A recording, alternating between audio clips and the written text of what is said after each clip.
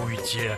На сцене бывает прохладно, иногда даже холодно, сквозняк, знаете ли. Но простужаются во время спектаклей и концертов только плохие артисты. У хорошего исполнителя столько душевного жара, что он еще и весь зрительный зал и подсобные помещения согреть может. Ольга Воронец – певица, я бы сказал, с народной манерой пения. Что это такое? Да в раз и не сформулируешь. Слушайте знаменитую и замечательную Ольгу Воронец и сами для себя уясняйте, что это за манера такая. А запись – настоящий раритет. Советский видеоклип, слова Евгения Долматовского, музыка Вано Мурадели.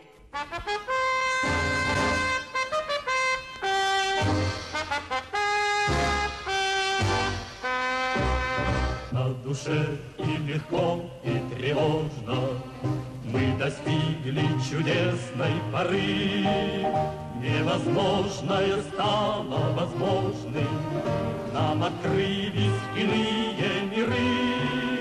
Только б мы их пределов достичь не смогли Если б сердцем не слышали голос вдали. Я земля, я своих провожаю питомцев, сыновей, дочерей. Долетайте до самого солнца и домой возвращайтесь скорей. Долетим мы до самого солнца И домой возвращайтесь скорей.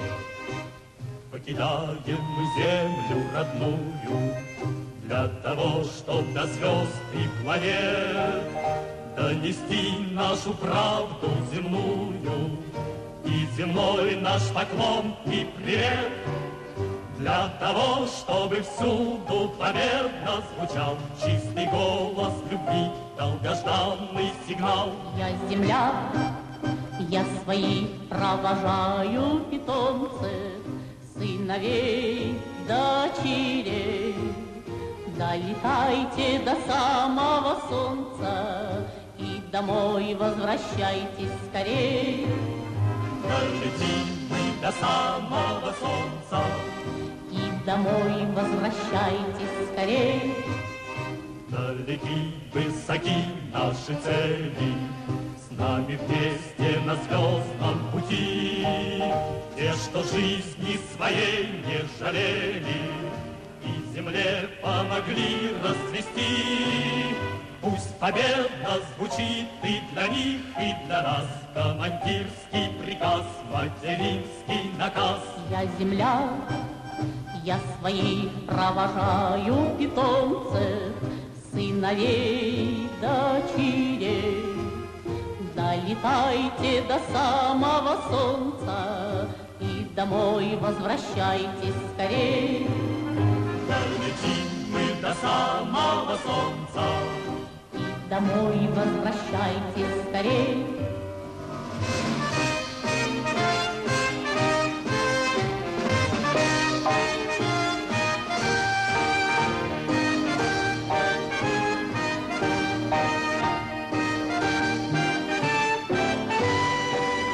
Пусть победа звучит и для них, и для нас. Командирский приказ, материнский наказ. Я земля, я своих провожаю питомцев, сыновей, дочерей. Долетайте до самого солнца и домой возвращайтесь скорей. Долетим мы до самого солнца и домой возвратимся скорее. Для писателя Михаила Задорнова характерно перевоплощение в героев своих рассказов. Часто его произведения написаны от лица представителя той или иной социальной группы или профессии. И в ситуациях, происходящих с каждым персонажем, писатель умудряется найти забавное и смешное. В нашей коллекции сегодня видеозапись Михаил Задорнов читает письмо студента своим родителям. Письмо студента домой. Здравствуйте, дорогие папа и мама.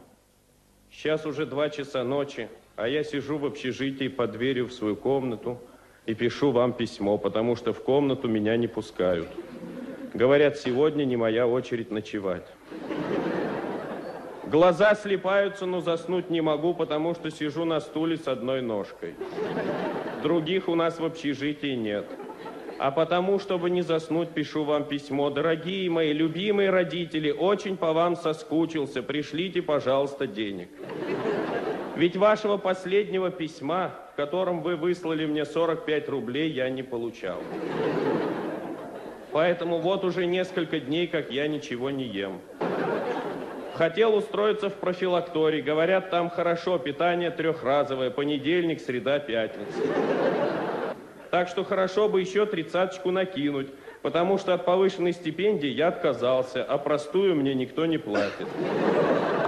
И утолять жажду знаний теперь мне не на что. Ну вот, а остальное все хорошо. Правда, недавно мои друзья по этажу меня в свою общину приняли. Это значит, все, что до этого моим было, то теперь общим стало. И брюки кремплиновые, которые дядя Гоша из Монголии с вареньем тутовым прислал, тоже. Они как вступительный взнос пошли. В них теперь все жениться ходят. А мне за место них друзья по общине очки подарили, итальянские, дымчатые, без стекол. Предупреждаю, отец, свои галифе мне больше не высылай. Уж больно они у тебя общинные, вся община в них умещается. Разом. Вышли деньгами, 120-150 на брюки должно хватить. Ну вот, а так все отлично. Правда, недавно за неуспеваемость меня отчислили из института. И теперь требуют, чтобы я вернул все стипендии, которые получил, пока учился. 270 рублей 60 копеек. 60 копеек можете не высылать, их я отдам сам. Я же понимаю, что вам тоже нелегко. Дорогие мои любимые родители, пишите чаще, как вы, как бабушка, здорова ли она, получает ли все так же регулярно пенсию. Если да, то почему давно не пишет? Словом, помните, у вас есть сын, который никогда вас не забывает. Если вам будет трудно, то высылайте, он поможет. На этом заканчиваю. С нетерпением жду вашего ответа. Ваш кормилец Сереженька. П.С. Лучше, если ответ вы переведете телеграфом. Если бы эта чудесная супружеская пара была знаменита только тем, что подарила миру Андрея Миронова, и этого было бы достаточно. Но, как прекрасно известно, Мария Миронова и Александр Минакер сами были превосходными актерами, отличным эстрадным дуэтом, создавшим на сцене ироничные образы вечно конфликтующих партнеров.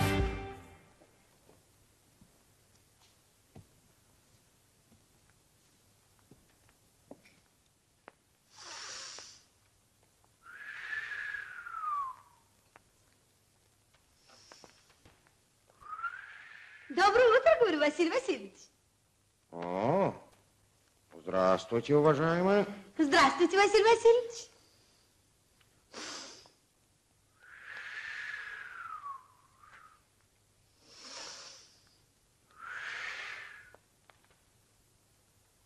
Ну, что скажете, Марья Петровна? Как что скажете? Как, как же что скажете? Так вот я же насчет вчерашнего-то. Ты черт, выскочил совсем.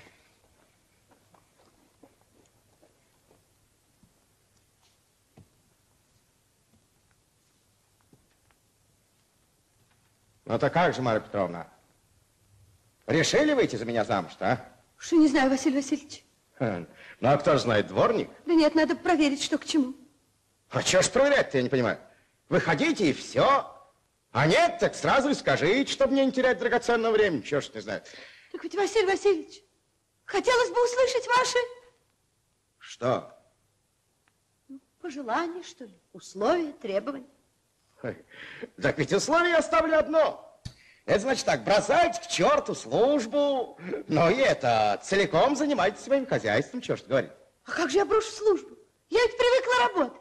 А, это хорошо, хвалю. Но в этом смысле могу вас успокоить. Работы же у меня хватит для вас.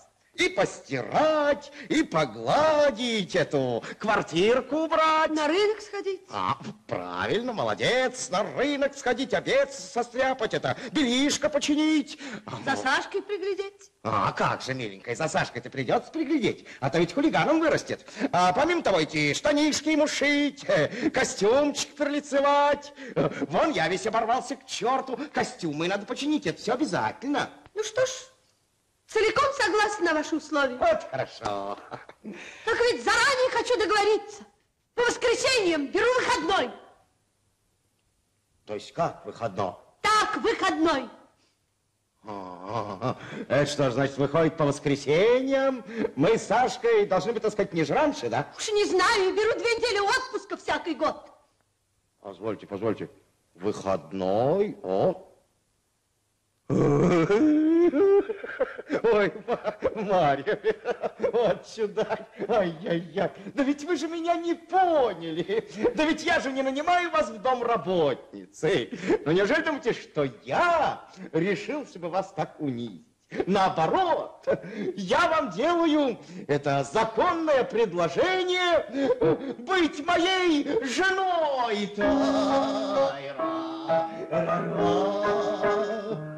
Но при чем тут отпуск, выходной? А я думаю, Василий Васильевич, лучше будет, прежде чем выйти за вас, с годик послужить у вас в домработницах, чтобы выяснить, справлюсь ли я с вашим хозяйством, а то уж больно много наговорили. Ну так это, конечно, все хорошо. Ну да, но ведь вы тогда потребуете это и спецодежду, и застраховать вас, а? А как же, все как полагается, и зарплату 300 рублей. Э, нет. Дудкис. Дураков-то нынче нет. Я вам, Марья Петровна, делал законное предложение быть моей женой. А вы так снижаете мои высокие чувства. Не ожидал, не ожидал от вас такой меркантильности. Да уж какая есть! И тут я полностью поняла, какой это человек. Ведь сейчас нередко слышишь про того или иного человека, что он фальшивый, что не надо доверять ему. А как распознать эту фальшь, которая, как говорится, на лбу не написано? Ну вот я-то распознала, проверила. Ну что ж, гражданочки, может, среди вас есть желающие выйти за него замуж, а? Что, молчите? Не требуется? Правильно, товарищи, нам такие не нужны. Людмила Гурченко у нас одна, созданная из самых хрупких и самых крепких материалов. Что бы она ни делала, это всегда интересно, горячо и трогательно. Вот посмотрите, с какой грацией она исполнила очаровательную песню, авторы которой композитор Оскар Фельдсман и поэт Наум Олев.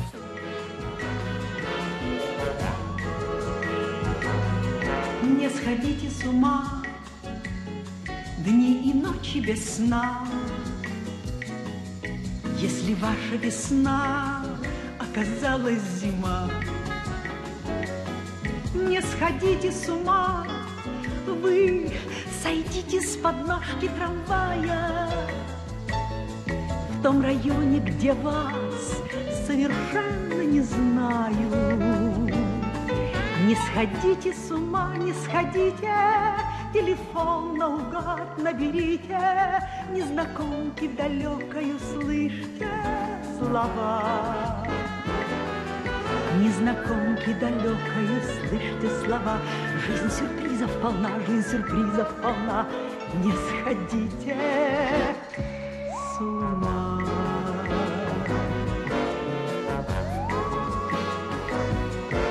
сходите с ума, пусть нелепа молва И обидны слова жизнь рассудит сама.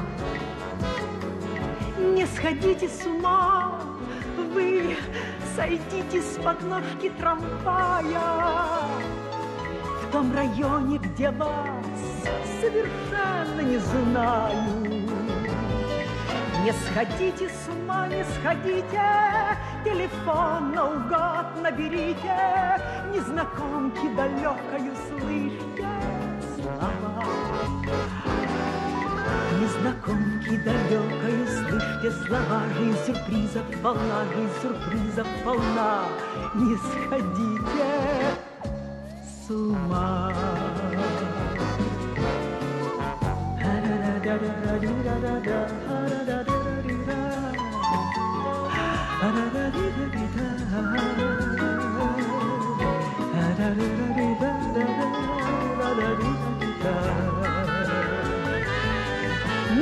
сходите с ума, не сходите, телефон наугад наберите, незнакомки далекою слышите слова.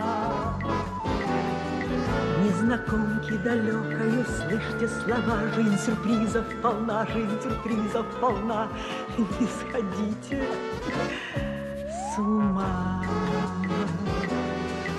Незнакомки далекой, слышите слова, жизнь сюрпризов полна, жизнь сюрпризов полна, жизнь сюрпризов полна, жизнь сюрпризов полна.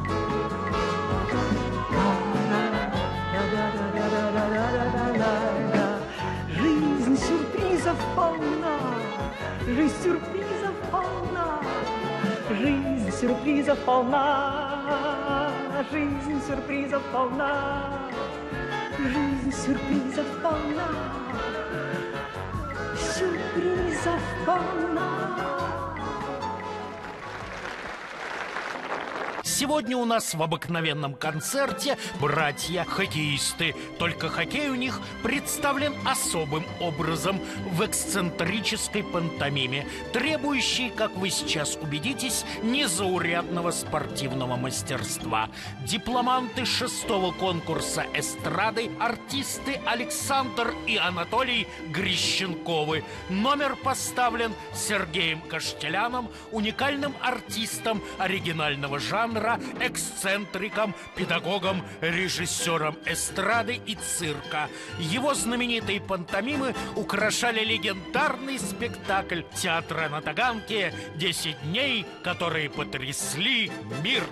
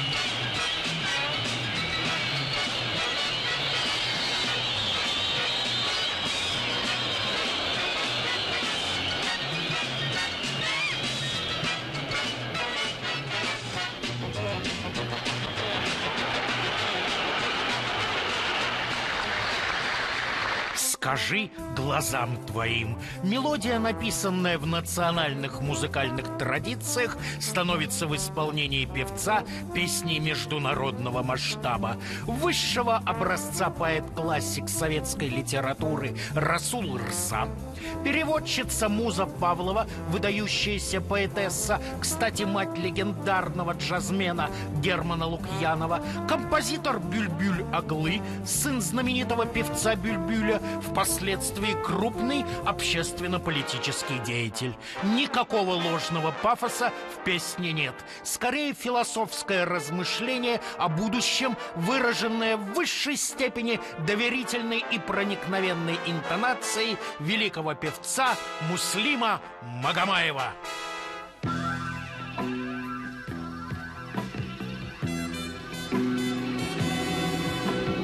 Скажи глазам твоим, Пусть, пусть в сон мой не приходят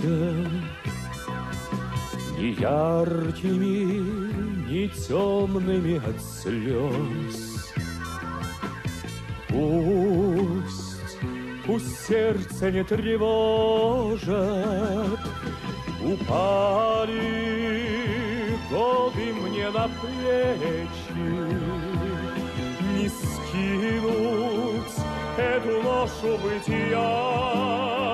Пусть приходи, останемся с тобою на вечный миг, в котором ты и я.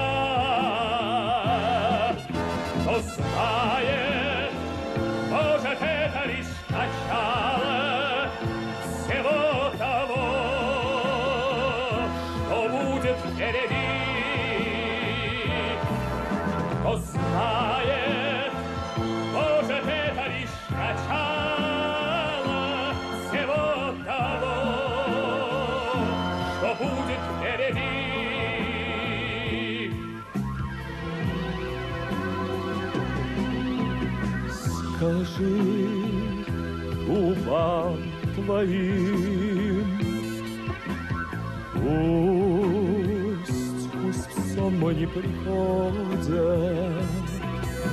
Ни нежностью, ни ропотом укрось. Пусть, пусть сердце не тревожат, Упали на плечи, Не скинуть эту ношу бытия. Пусть приходи, останемся с тобою на вечный миг, в котором ты и я. Кто знает,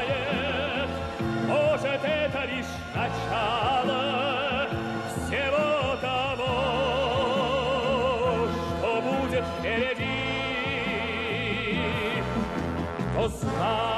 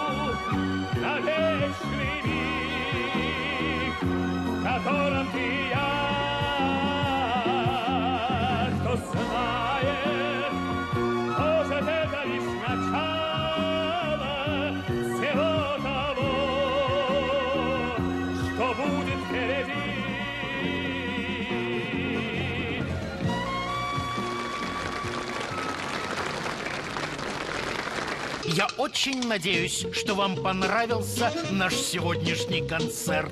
Номера, как всегда, были на высоте. Верю, и ваш покорный слуга был вам симпатичен. Неизменно влюбленный в нашу эстраду конферансье Эдуард Эфиров.